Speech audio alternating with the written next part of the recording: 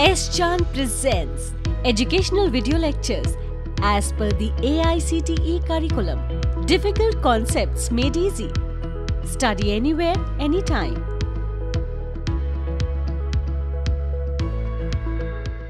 In this video, we will be learning about the basic concepts of engineering drawing and this is the second part of the video. In the first part, we have learnt the basic concepts of engineering drawing and also the tools which are used to draw the objects.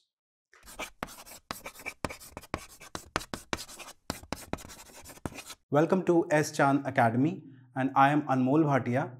For detailed conceptual clarity, you can refer to the book by S. Chand Publishing. The link of the book is there in the description box below. In the previous video, we learned about the title block.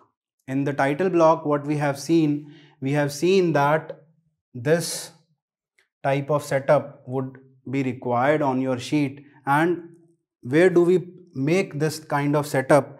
We make this setup in the corner which is the bottom right corner of your sheet. If this is your sheet then on the bottom right corner of the sheet we make this title block. Apart from that we make a border also on the sheet. So there is a border on the sheet and on the extreme right corner uh, bottom right corner we make this title block and the contents of the title block is as follows.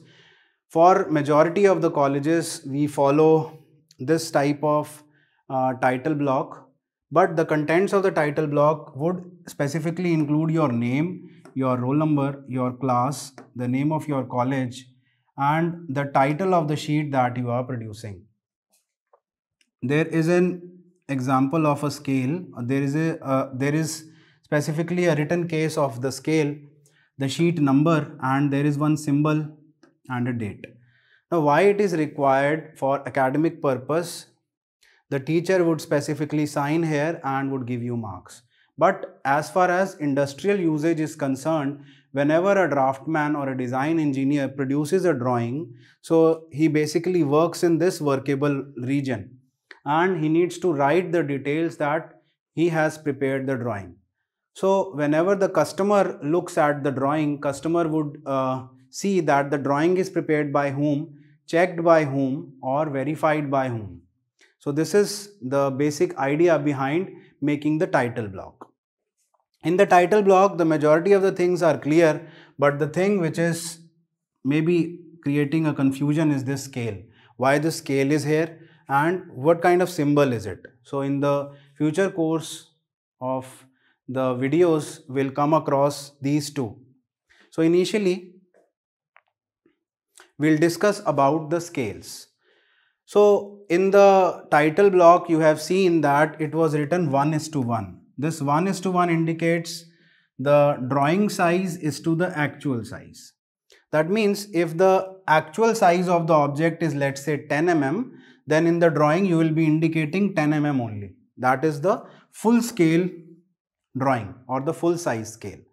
But if uh, I talk about the electronics industry specifically where the shorter chips are required to be presented to the customer. So for that they need to present it in a much larger view. So we have to use the enlarged view to represent the smaller objects. So as you can see that the drawing size is double and the actual size is 1. So let's say if the drawing, if the actual size of the object is let's say 10 mm, so it would be doubled if the scale is 2 is to 1. It would be tripled if it is 3 is to 1 and it would become 100 times if it is 100 is to 1. And in case of civil construction uh, industry where the size of the objects or the drawing components would be larger. So in that situation, you need to reduce down the scale in order to show it on the drawing. So for that you use a reducing scale. So it can be 1 is to 2, 1 is to 3, 1 is to 100. That means if the actual size is 2 then on the drawing you need to represent 1. That means half of the uh, dimension is to be represented on the drawing that we are making. So in general whenever we are indicating the title block in general course of action we would be using the full scale length. So if you are using full scale length indicate here 1 is to 1 otherwise you need to indicate the scale as per the requirement. Then uh, majorly you will come across this thing which is the dimensional arrowhead and why it is necessary let's say I have an object and I want to represent the dimension of this object so I need to represent the dimension of this object with the help of a dimensional line.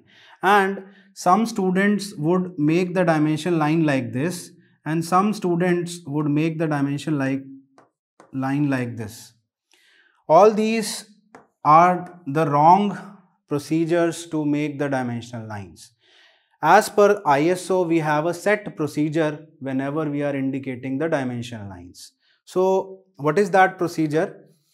we have to draw a line and we have to make an arrow and this arrow has a particular specification and that specification if if this height is one unit then this length should be three times of that length that means if i'm making this length as one unit so i'll specifically uh, write this length as three units so the question that comes into the mind of any student is do i need to measure this dimensional arrow and then indicate so the answer to this would be no. You need to uh, specifically uh, mention this 1 is to 3 by analyzing.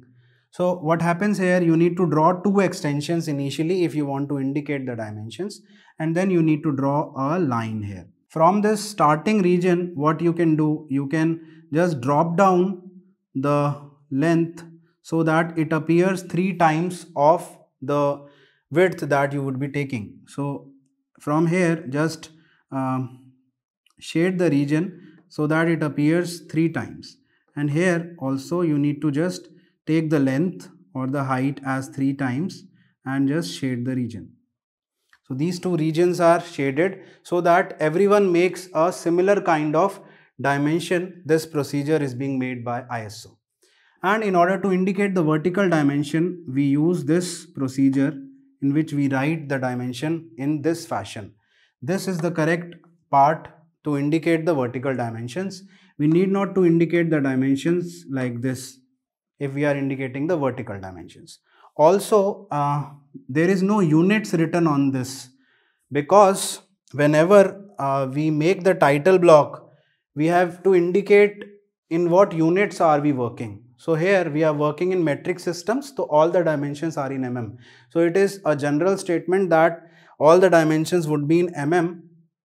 So we'll indicate the dimension without any specific units and it is explanatory that all the dimensions would be in mm.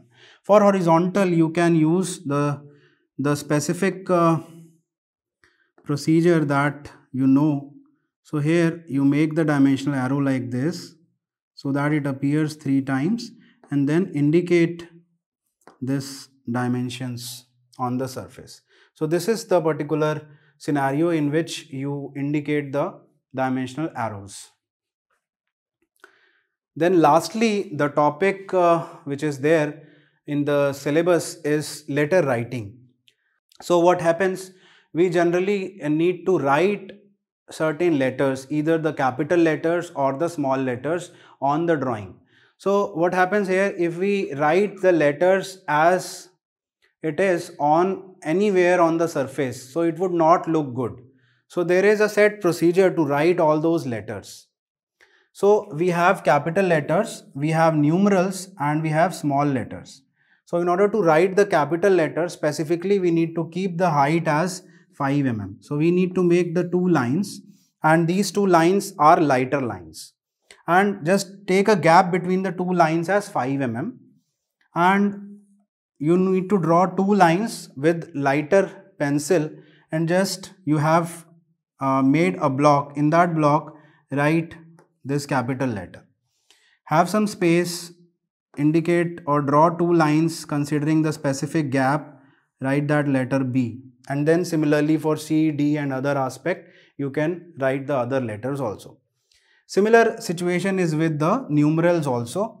You have to take two lines which are at a distance of let's say 5 mm and you have to take certain gap. In between the gap, you need to indicate that letter so that the height of the letter appears uniform on the surface of the drawing. Now the situation comes of the small letters. In case of small letters what happens generally there is a confusion that how to indicate the height.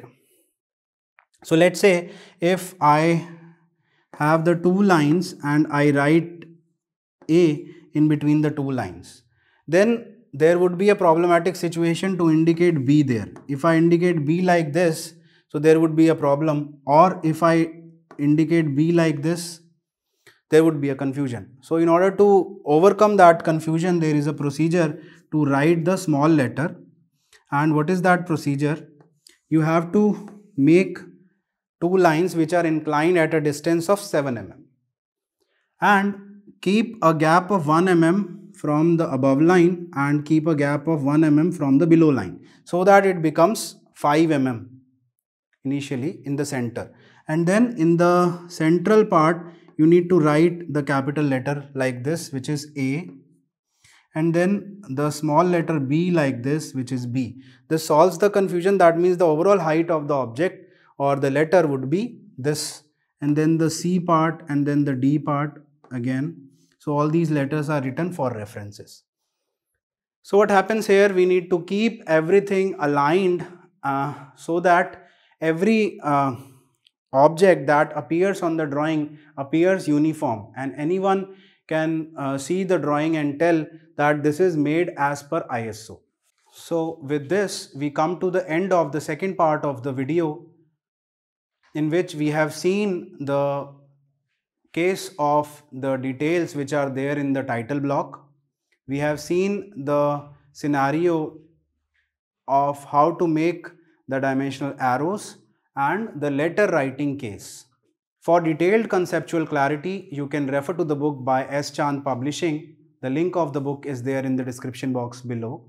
If you find the video interesting, you can like, share, subscribe the channel and hit the bell icon for future updates. Thank you.